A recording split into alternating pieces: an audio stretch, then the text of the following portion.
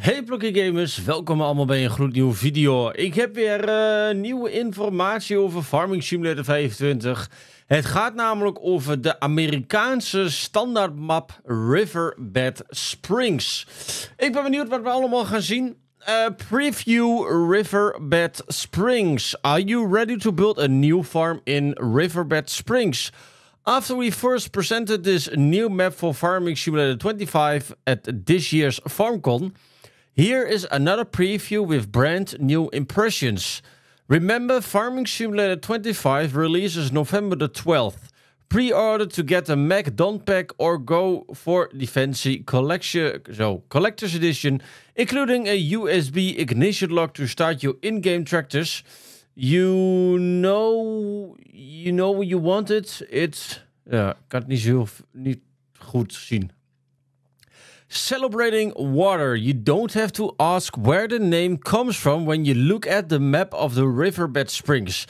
A huge winding river, lots of water, and many little creeks and streams in between. A ferry too.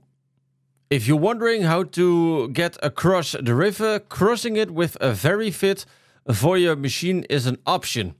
Oftewel, je kan dus van de ene kant naar de andere kant met een boot. Een pont. Kun je eh, eventueel doen. Dan wordt je dus gevraagd, als je je afvraagt van hoe je de rivier uh, doorkruist. Uh, je kan het dus met een pontje doen. Voor je machines is geopend. It's all about water and we want to celebrate that comment, commented senior level designer Florian Busse at FarmCorn. That's why you'll find piers, jetties, houseboats, a restaurant floating on the river and many more elements in Riverbed Springs. To go along with the theme of the map, perfect fit for adding rice and water physics. Nou, de water physics wisten we natuurlijk al. De rijst wisten we natuurlijk ook al.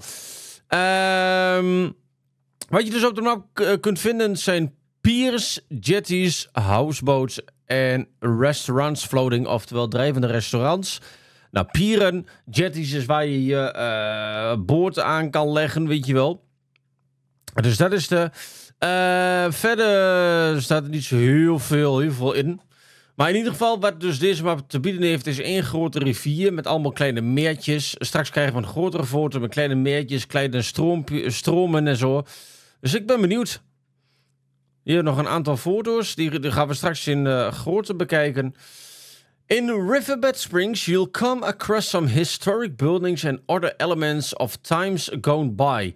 The old grain elevator, a paper mill at the river or brick building, how they were built in 100 years ago, for example. Oftewel, er zijn heel veel oude, um, ja, heel veel oude gebouwen te vinden in de nieuwe map Riverbed Springs. Nou, dit hadden we al in de video gezien.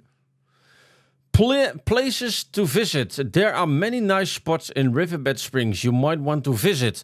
Who knows what or who you'll get to see when exploring. Who knows what or who? Wie weet wat of wie als je op ontdekking gaat. There are construction sites, a business buying your goods and more. If you want to if you want to enjoy forests and nature, you might want to walk through the woods. Making memories at Sunset Sunflower Farm. Aantal foto's. En dat was het. Mocht je de nog niet hebben, check het linkje in de beschrijving. Daarmee ga je natuurlijk uh, support je me enorm meer. Ik heb uh, hier een aantal screenshots, maar ze staan ook in Discord. En ik denk dat dat iets makkelijker is. Dan hoef ik niet elke keer uh, erop te klikken. Dit is de 3650. Dit is dus een nieuwe oldtimer van John Deere. Een 3650. Ik weet niet... Uh, John Deere 3650. Alles accepteren.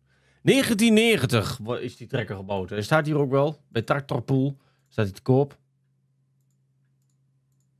Oud, frot, lelijk ding. Uit de jaren 90. Dus uh, nieuwe trekken hebben we sowieso al gevonden. Nou, dan hebben we natuurlijk de mist. Ik denk dat dit de veehandelaar is. Als ik zo kijk naar, uh, ja, naar dit logo, denk ik. Dan hebben we de oude Paperworks, de oude papierfabriek met een... Uh, hoe heet dat? Met een, met een waterrad. Ik denk dat dit een beetje de... Ik weet het niet, hoe je dingen kan maken of zo. Ja, daar kun je niet uh, op inzoomen. Oude papierfabriek.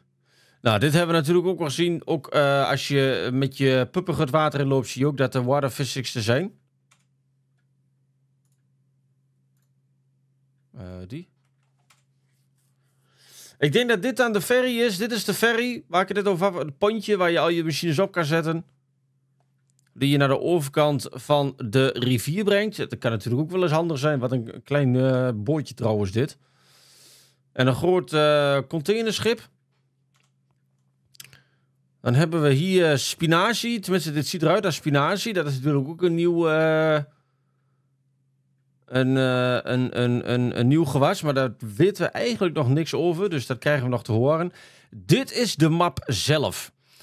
Um, zoals je kunt zien, zijn niet alle velden meer recht toe, recht aan, zoals hier. Nee, er zit ook allemaal bochtenwerk in, omdat we natuurlijk nu GPS hebben in Farming Simulator 25. Dus uh, als het goed is, zou dit dus allemaal normaal moeten gaan lopen voor, uh, voor de helpen. Je hebt nog wel recht toe, recht aanvelden. Uh, hier, die, dit stuk. Ja, hier zit dan een, een bocht in. Dit is een beetje een schuine kant. Maar het is allemaal niet meer rechthoekige velden. Er zit nou ook ronde vormingen in. Dus dat is ook wel heel erg mooi.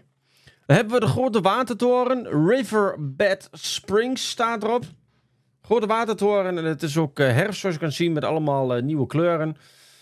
Als ik zo naar de, naar de volken kijk, zijn die wel wat scherper dan dat, dan dat we het nu hebben. Dan hebben we hier, ja wat is dit dan? Een of ander verkooppunt met een hele oude kar die hier staat. Misschien is dit wel de houtzagerij. Ik zie hier een paar planken liggen. Zou zomaar kunnen. windmolentje erbij. Making Memories op de Sunset Sunflower Farm. Dus ziet er allemaal heel erg vrolijk uit. Allemaal nieuwe bloemen. Dit zijn nieuwe bloemen, dat zijn nieuwe bloemen, dit zijn nieuwe bloemen. Dus het ziet er allemaal wel wat levendiger uit. En dat is ook wel leuk. Wat diversiteit. Blijkbaar zijn er toch meer foto's. Ik zat even te kijken voor een thumbnail. Maar we hebben nog veel meer foto's hier. Met de mist, bijvoorbeeld. Uh, ik weet niet waarom ze allemaal hier openen. Ik weet ook niet waarom ik ze drie dezelfde heb. Het zou wel uh, een foutje zijn geweest. Dit is de binnenkant, de belichting En dat is heel erg veranderd. Dus dat is ook wel heel erg gaaf. Uh, dan heb je hier die van de buitenkant. Dan hebben we deze. Dat is de, ook dezelfde. Want ik moet alles moet ik nou aanklikken. Dat is wel een beetje vervelend. Dat is dezelfde. Dat is dezelfde. Dit is een boot. De, het grote containerschip die we net zagen. Hebben we hier een of andere, ja, je zou haast zeggen apenkooi. Hebben we ook nog. Met de belichting. Dus dat ziet er ook allemaal heel gaaf uit. Maar als ik dat zo zie, heb ik nog steeds het idee dat dat uh, er nog heel erg warm uitziet. Heel erg oranje.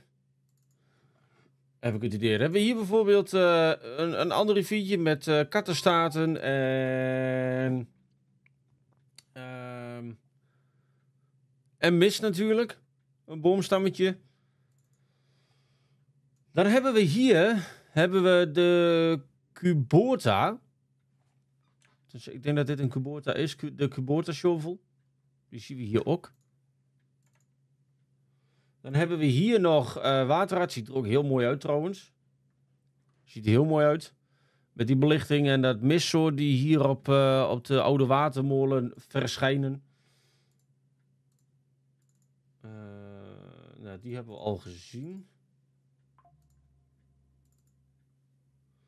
Deze hebben we ook al gezien. Even te kijken hoor. Dat is de watertoren, die hebben we ook al gezien. De map zien we. Dan hebben we hier de spinazie, die hebben we ook al gezien. Het pontje hebben we ook gezien. Die hebben we gezien. En de John Deere. Die. En dan hebben we de veemarkt nog. Dus ja, eh, dit, moest ik, dit moest ik er nog achter knippen. Was ik vergeten. Dus uh, heel bedankt voor het kijken. Heel bedankt voor de support. Laat je reactie achter. En tot de volgende keer. Kalm!